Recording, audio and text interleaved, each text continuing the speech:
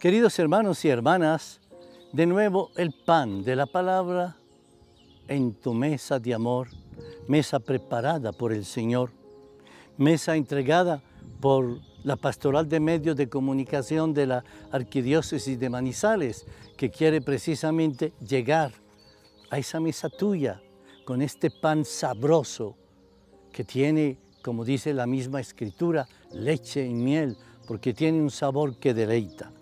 Hoy, el Evangelio de San Lucas, en el capítulo cuarto, escucha lo que nos dice.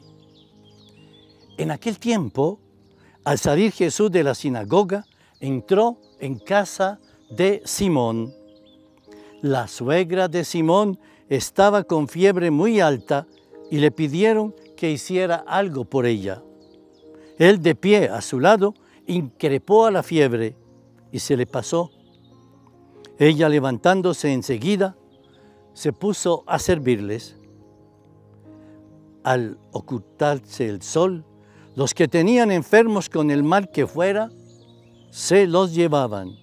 Y él poniendo las manos sobre cada uno, los iba curando. De muchos de ellos salían también demonios que gritaban, tú eres el Hijo de Dios. Los increpaba y no les dejaba hablar porque sabían que Él era el Mesías. Al hacerse de día, salió a un lugar solitario. La gente lo andaba buscando.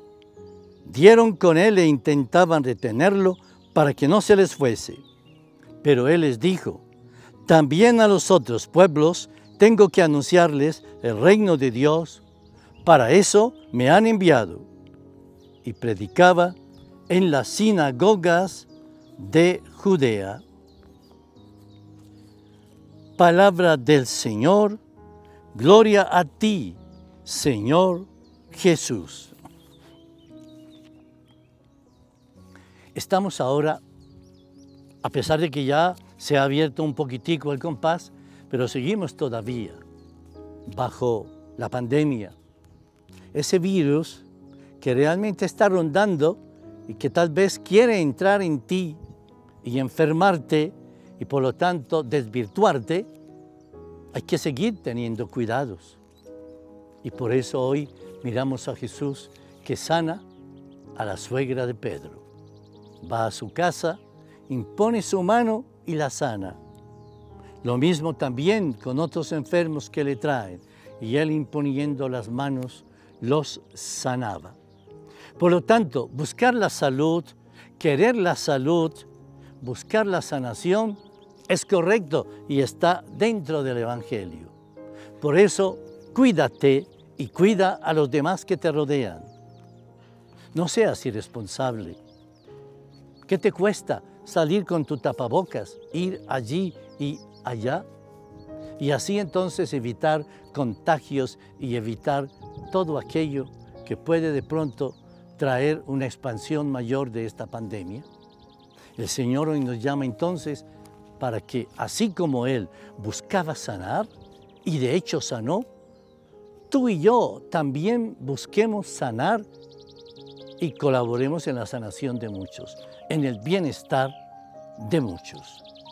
Por eso termina el Evangelio diciendo, y todos querían retenerlo, no querían que se fuera. ¿Por qué? Porque veían en él una fuerza mayúscula, una fuerza radiante de vida. Por eso digámosle hoy al Señor, Señor, no solo para este nuevo mes, no solo para este momento duro de esta pandemia, sino para mi vida siempre, no te vayas de mí. Yo también te quiero retener. Quédate conmigo, Señor.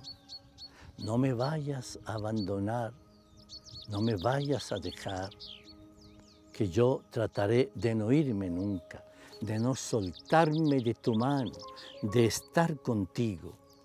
Mira, Señor, estos minutos en los cuales yo pongo atención a tu palabra y quiero extraer de tu palabra esa miel, ese sabor para la vida, que sea un indicativo, Señor, de que yo quiero estar contigo, de que yo no me quiero alejar de ti.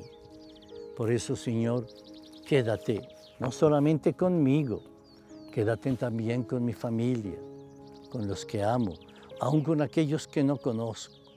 Señor, ve a las camas de los hospitales donde aquellos enfermitos que están en unos cuidados de intensidad inmensa por esta pandemia. Tú puedes sanarlos. Impon tu mano sobre ellos. Ayuda a los médicos, enfermeras, todos aquellos que tienen que ver con la salud para que vayan curando, remediando estos males. Definitivamente, estar en tus manos, Señor, retenerte a ti para nuestra vida, es un don y es un regalo maravilloso. Que el Señor, pues, para este día te cubra con su misericordia y su sanación, en el nombre del Padre, del Hijo y del Espíritu Santo.